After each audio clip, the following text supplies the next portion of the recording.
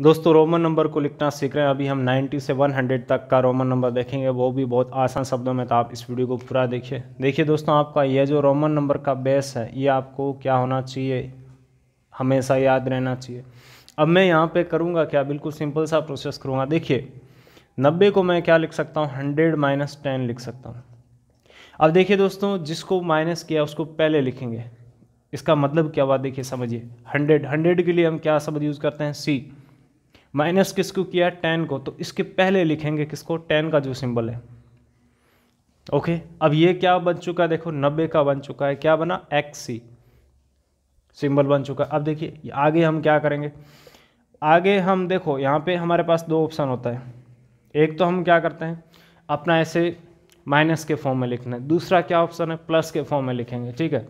तो यहाँ पे माइनस के फॉर्म में तो आपको कोई एक आध लिखना पड़ेगा, बाकी लगभग सभी को हम किसके रूप में लिखते हैं? प्लस के रूप में लिखते हैं। जैसे फोर को हमने फाइव माइनस वन लिखा, बाकी इनको प्लस लिखा, देखो।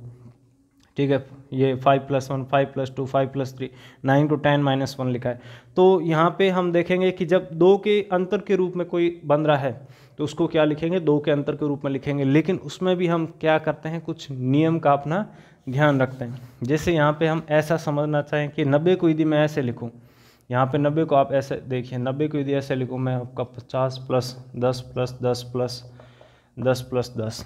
पचास के लिए एल आ गया, दस के लिए एक्स कितना आ गया एक्स आपका? देखो one two three four time X आ गया। एक देखो, इतना बड़ा बन रहा है जबकि एक दो डिजिट का बन रहा है। तो क्या मेरे लिए ये लिखना आसान है या ये लिखना आसान है? देखिए, आपको ये आसान लग रहा है। ये छोटा सा ऐसा कॉम्पैक्ट लग रहा है। तो ये आपका गलत है और ऐसा लिखना सही है। ठीक है? प्रैक्टिस करेंगे, देखिए आपको समझ आएगा और उसमें आपको कुछ हो सकता है, थोड़ा बहुत याद भी रखना पड़ेगा।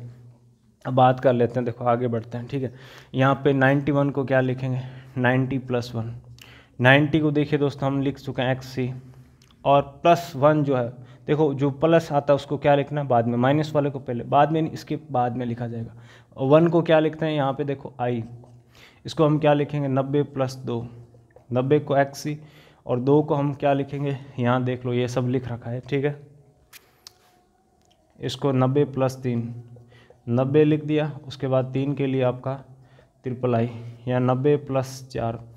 नब्बे लिख दिया, उसके बाद चार। नब्बे प्लस पाँच। नब्बे और पाँच। Ninety six. ये नाइन्टी, उसके बाद आपका सिक्स। यहाँ पे नाइन्टी प्लस सेवन। ये नाइन्टी, उसके बाद आपका सेवन। नाइन्टी प्लस एट, ये नाइन्टी और उसके बाद आपका एट। यहाँ पे नाइन्टी नाइन, नाइन्टी और नाइन, ठीक है? और हंड्रेड को दोस्तों हम क्या लिखते हैं? अपना सी लिखते हैं। तो इस तरीके से नाइन्टी से लेके वन हंड्रेड तक का रोमन नंबर हमने अभी देखा। ओके? और मन में कोई डाउट है, क्वेश्चन है तो नीचे कमेंट करके बता सकते हैं। Thank you.